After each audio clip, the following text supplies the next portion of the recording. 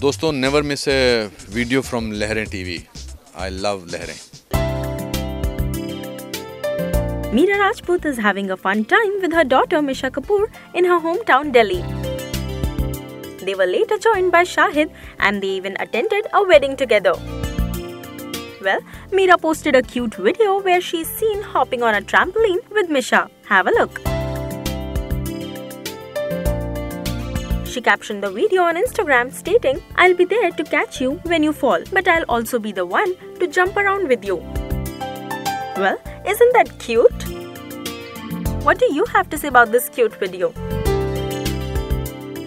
Congratulations, Lehren, on completing 30 years. I wish you another 90 at least.